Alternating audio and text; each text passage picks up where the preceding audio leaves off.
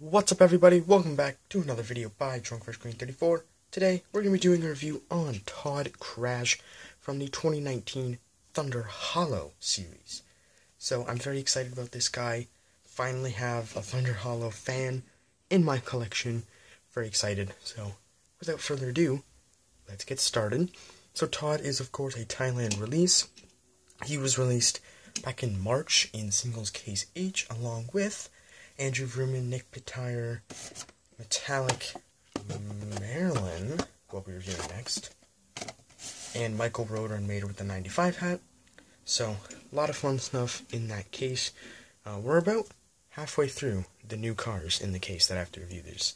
After this, we have Marilyn, then Michael, or Metallic Marilyn, Michael Rotor, and then Mater with the hat. But yeah, let's get on with the video.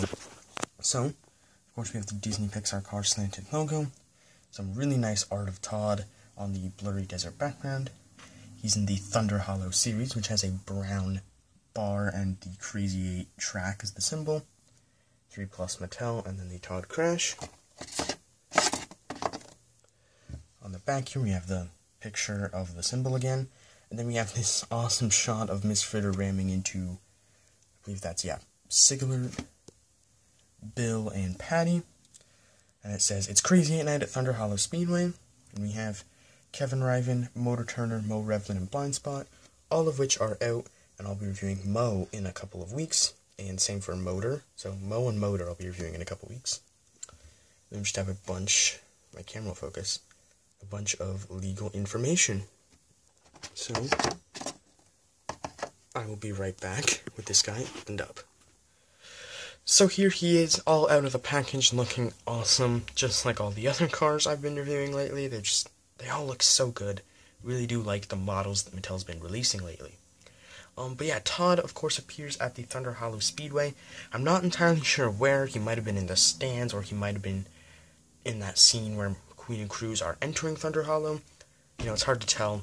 Um, I don't remember. But he definitely appeared at Thunder Hollow. That's why he's in that series. So, let's get started. He's got some nice blue eyes there with a yellow eyelid. We have this really awesome textured grill. I love it with the headlights there. And look at the rust. The attention to detail on this car is amazing. So good. Got like a silver bumper with a nice happy expression. He's got like all black rims, which a lot of cars don't have in the cars line, which is really interesting.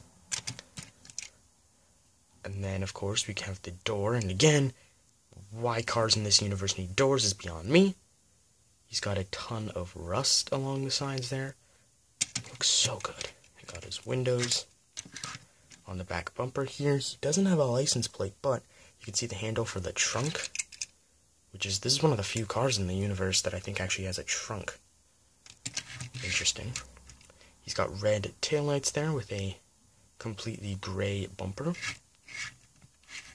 And on the side we have another like streak line going across of rust and even more going along. Like he's he's almost as rusty as Mater.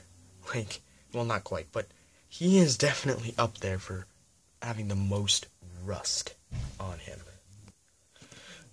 And yeah, he's got like this all gray hood there. And sorry for the cuts, I just had to go take care of something, but yeah, he's got like this opaque back window and as I mentioned, the gray on the hood and the kind of rust surrounding the trunk, and even on the back of the trunk is really cool. Again, he's got nice mirrors on both sides. But look at the rust in the center. That just looks so good and so well done. Like, wow. I love the attention to detail they put on this car.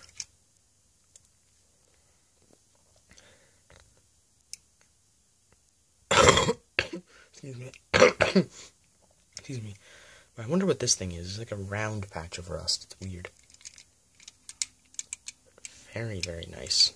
Very nice car. Definitely one of my favorites that I've reviewed so far in the recent weeks.